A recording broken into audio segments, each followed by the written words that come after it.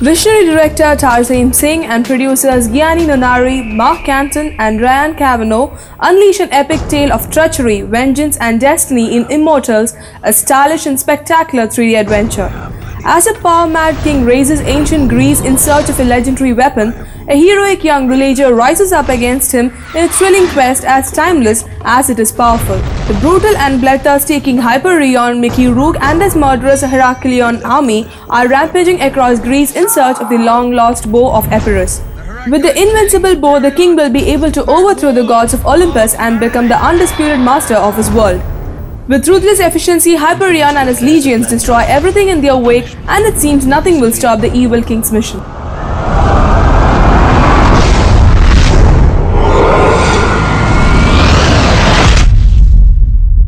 Gods chose well.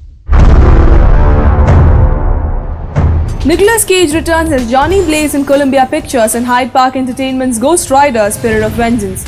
In the successor to the worldwide hit Ghost Rider, Johnny, still struggling with his curse as the devil's bounty hunter, is hiding out in a remote part of Eastern Europe when he is recruited by a secret sect of the church to save a young boy from the devil. At first, Johnny is reluctant to embrace the power of the Ghost Rider, but it is the only way to protect the boy and possibly rid himself of his curse forever.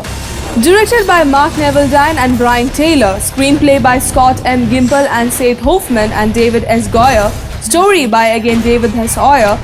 The movie is based on the Marvel comic and produced by Steven Paul, Ashok Amritraj, Michael De Luca, Avi Arad and Ari Arad.